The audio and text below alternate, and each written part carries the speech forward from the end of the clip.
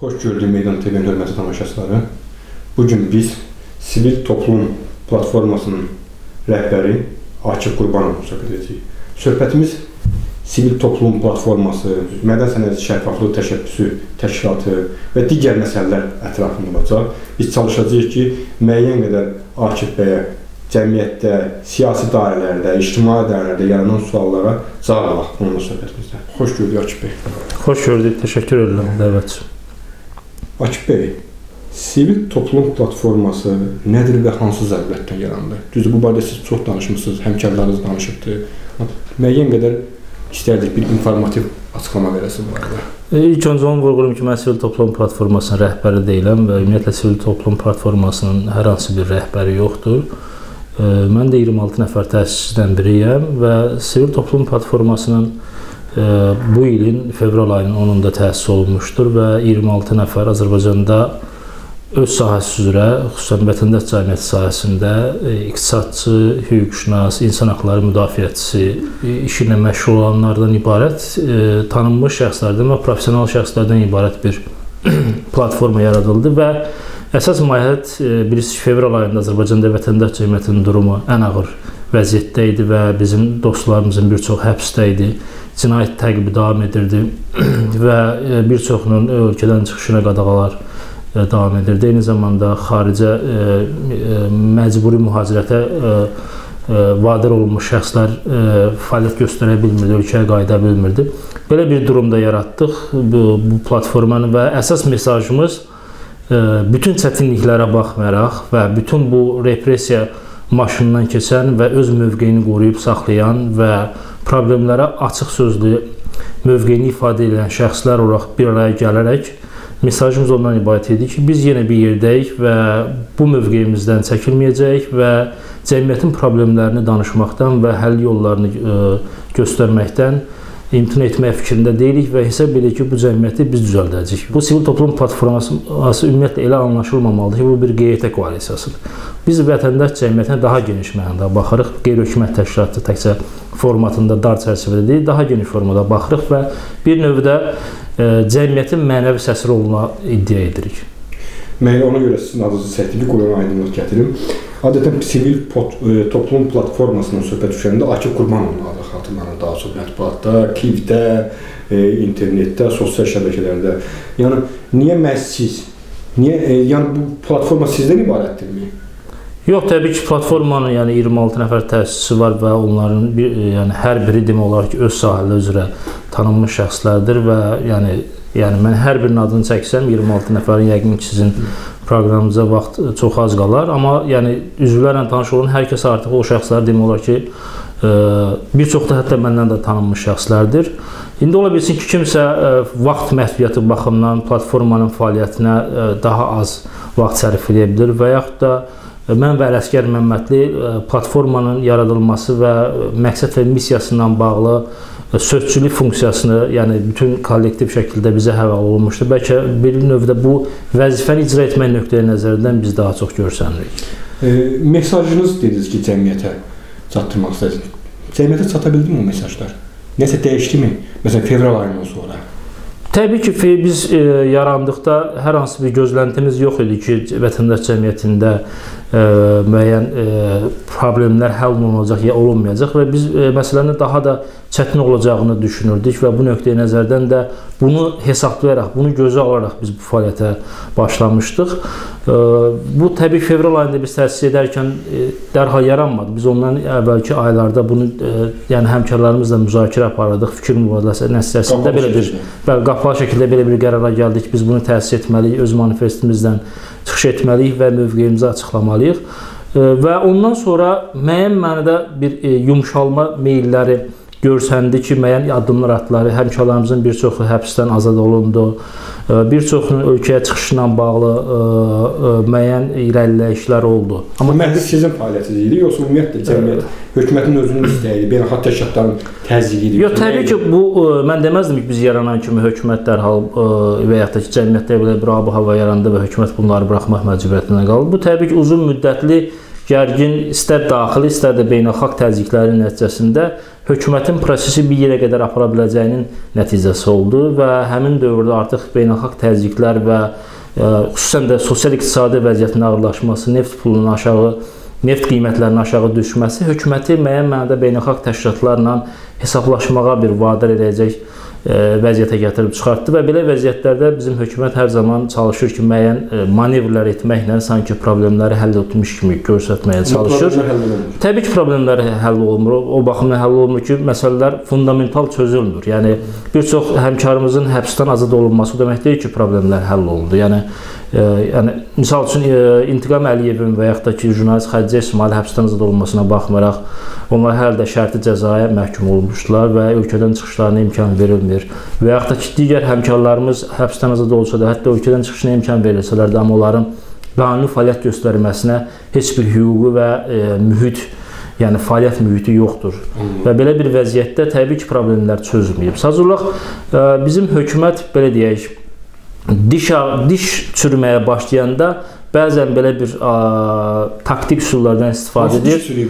Ə, təbii ki, yəni ə, o süd dişləri olanda adətən bunu dəyişmək çox rahat olur, amma artıq elə bir vəziyyətə gəlib çıxıb ki, ölkədə xüsusən də vətəndaş cəmiyyətinin durumu ilə bağlı, yəni bu daimi dişlər ki var, dişlər çürüməyə başlayanda bizim hökumət çalışır sadəcə yox müəyyən bir tutaq ki, anal yeyindən, baral yeyindən istifadə edir, ağrı kəsici əməliyyatları həyata keçirdik ki, sanki bu dişim ə, müalicə etmiş kimi göstərməyə çalışır. Amma əslində isə ə, məsələyə kökündən yanaşılmalıdır və bu ə, yəni aldadıcı manevrlər problemi həll etmir. O sadəcə görüntünü dəyişir. Mən ora e, gəlirəm. E, deməli oktyabrın sonunda Mədən Sənayesi Şəffaflıq Təşkilatı e, Təşəbbüs Təşkilatında Azərbaycan üzvlük məsələsinə baxıldı.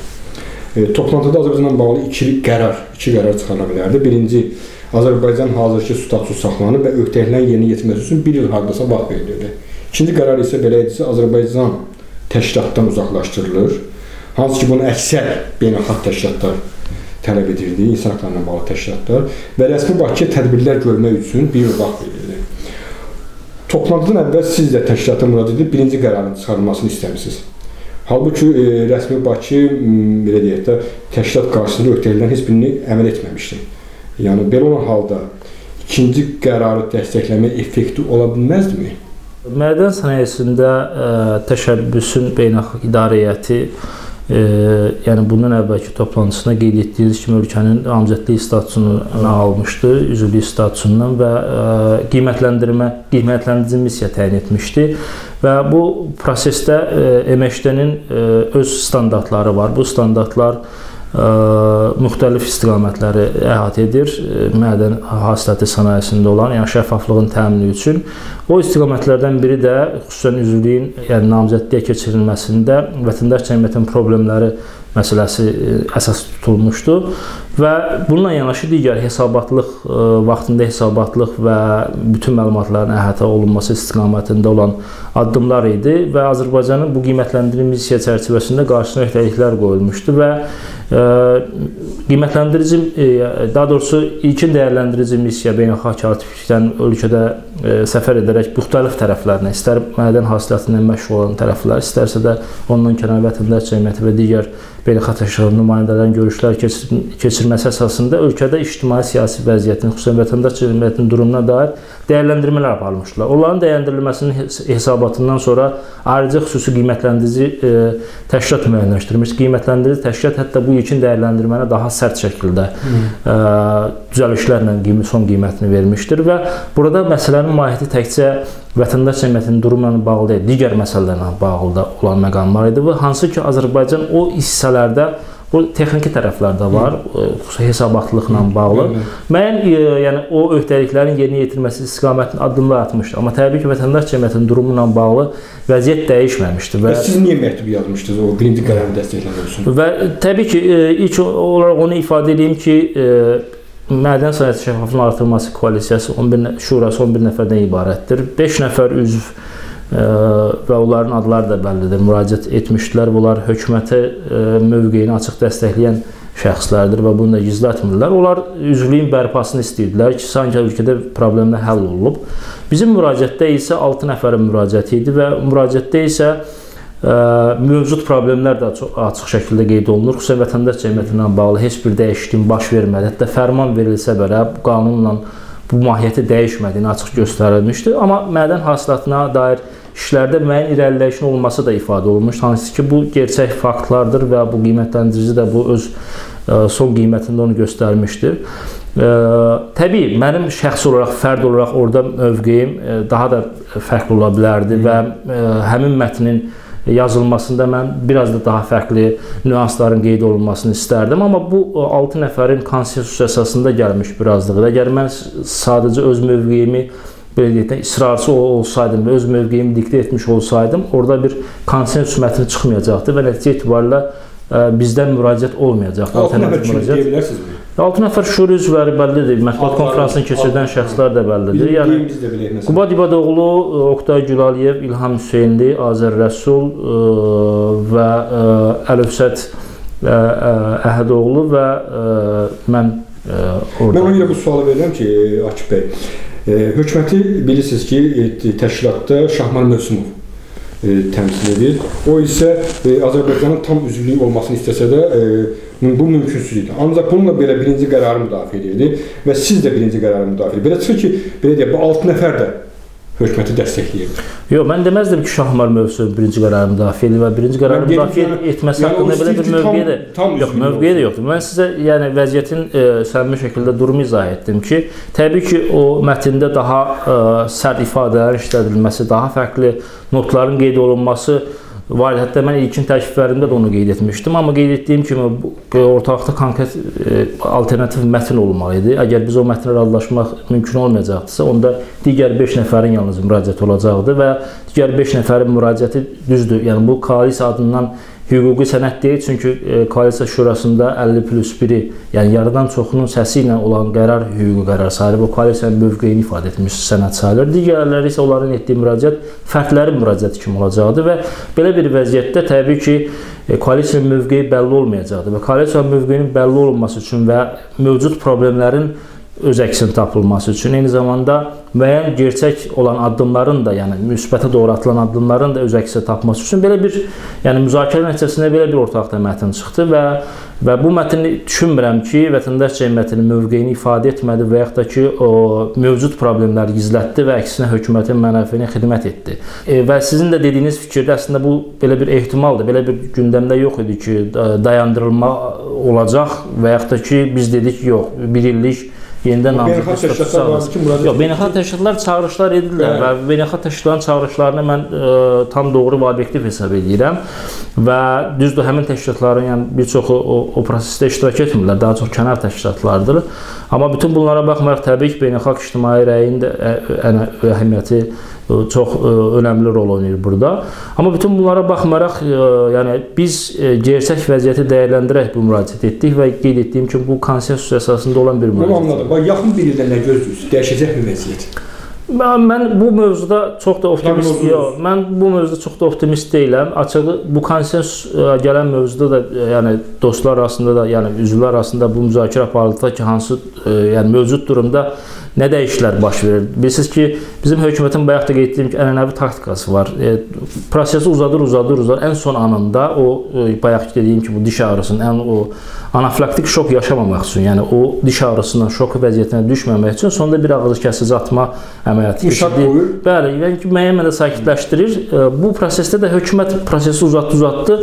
E, 25-də müzakirəyə e, artıq başlandı, iclasa qalmış. Artıq 22-si, 23-də müəyyən addımlar atdığını göstərməyə çalışdı. Yəni 21-də oxşar yenidən təkrarlana bilərmi bir ildən sonra? Ə, yəni ə, əslində bizi 1 il gözləmir. 4 aylıq müddətdir. Yəni mart, mart ayına qədər konkret vaxt verilir və bu dəfəki əslində qərarda daha konkret göstərir idarə heyəti ki, ə, əvvəlki qərarda var idi ki, növbəti iclasda baxılacaq və statusun dəyişməsi halı baş verə bilər. İndi isə çox konkret göstərilib ki, əgər xüsusən çox ayrıca ə, qeyd olunub ki, vətəndaş cəmiyyətinin 3 məsələsi həll olunmasa, yəni qanunvericilik dəyişməsi, orada ə, təşkilatların qeydiyyat problemi, donorun qeydiyyat problem, xarici donorun qeydiyyat problemləri və ümumiyyətlə məqsədə müvafiqlik rəyinin verilməsi və təşkilatların qrant qeydiyyatının aradan qaldırması tələbləri yerinə yetirməsə, hökumət artıq bu dəfəki qərar çox bərbaşdan açıq göstərilir. Dayandırılacaq. Bir şey var ki, Azərbaycan qeydiyyat sektoru təkcə e, mədən sənayesi təşəbbüs, e, mədən sənayesi şəffaflıq təşəbbüsündən belə deyək də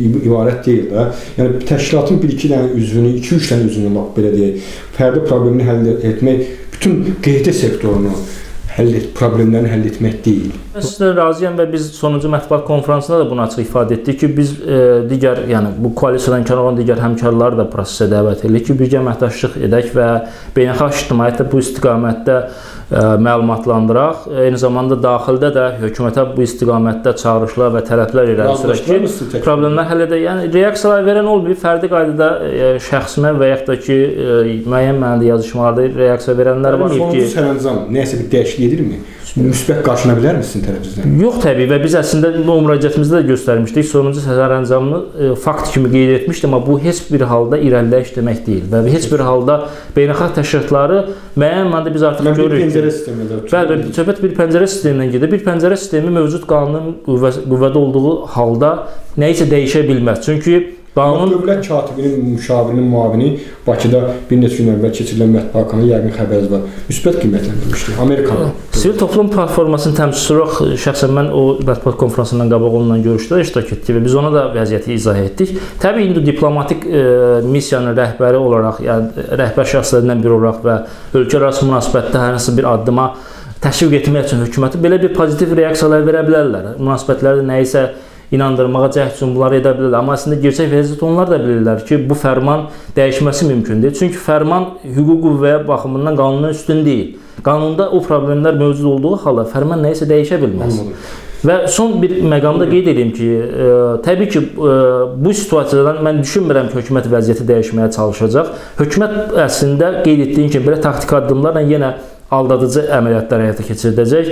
Xüsusən selektiv olaraq hansısa bir təşkilatların problemini həll, həll edəcək. Burada təkcə mədən sənayesində olan bütün təşkilatların problemlərini həll etmirlər. Məsələn, mənim və ya digər şura üzvlərinin nə qeydiyyat problemləri, digər məsələləri həll olunmur. O şuranın içində də onlar seç, selektiv olaraq seçirlər ki, kimlə münasibətləri tənzimləyə bilirlərsə, kimlə hökumətlə ə, maraqlarına uyğun o birgə fəaliyyət göstərmək mümkündür, onlar problemləri həll edirlər, digərləri çözmürlər. Yəni o, yanaşma dəyişmir. O yanaşma dəyişmir desə, nəhayət son sual konkret. O yanaşma dəyişmir desə, siz yenidən mart ayına yaxın o cür məktub göndərəcəksinizmi? Bilirsin nətərdir? Biz mən güman etmirəm ki, bizim öncəki məktubumuzda da ə, e, hökumətin gördüyü işləri müsbət qiymətləndirmişik və vətəndaş cəmiyyətinin problemlərini Təbii ki, bizim mövqeyimiz çox açıqdır və mövqeyimiz də çox net olacaq və orada da mətbuat konfransında da bəyan etdik və ayrıca mən özüm öz təşkilatımız olaraq da bu istiqamətdə, yəni Demokrat Təşəbbüslər İnstitutu olaraq da bu istiqamətdə fəaliyyət göstəririk və biz mart ayına qədər bütün prosesləri monitorinq həyata keçiriləcək və gerçək vəziyyətin nədən ibarət olması haqqında və və çalışacağıq bütün həmkarlarımızın bu istiqamətdə mövqeyini e, bura cəlb cəmləyək və birgə mövqeyi kimi çıxış olunsun ki, ölkədə vətəndaş cəmiyyətinin durumu ilə bağlı hər hansı bir gerçəklik dəyişikliklər var yoxsa yox. Yəni bu net şəkildə açıq qoyulacaq ortalığa. Təşəkkür edirəm Akif bəy. Meydan TV-nin tamaşaçıları biz bu günləri Sivil Toplum Platformasının 26 üzvündən biri Akif Qurbanov söhbət etdik. Çalışdıq ki, müəyyən qədər sualları, cəmiyyətdə yaranan sualları əhatə eləyək. Təşəkkür edirik.